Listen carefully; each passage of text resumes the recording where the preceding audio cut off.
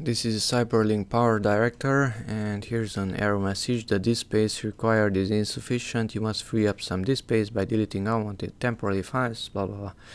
Okay so I received this message while I'm capturing a video using my USB camera and I cannot record more than one minute long videos.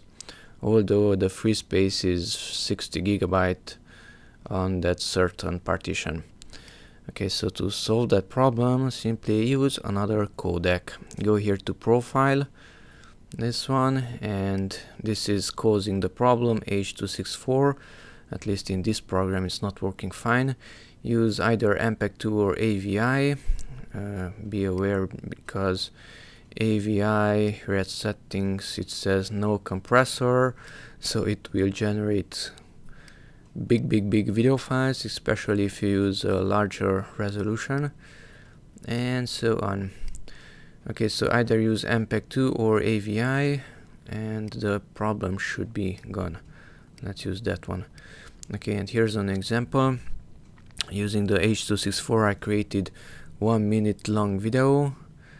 This created a one minute and one second long video. And by using MPEG-2 I went to 4 minutes and 47 seconds and I stopped the video so there were no problems. 3 minutes and 9 seconds also I stopped it. So avoid H264 inside this program while you're capturing videos using your camera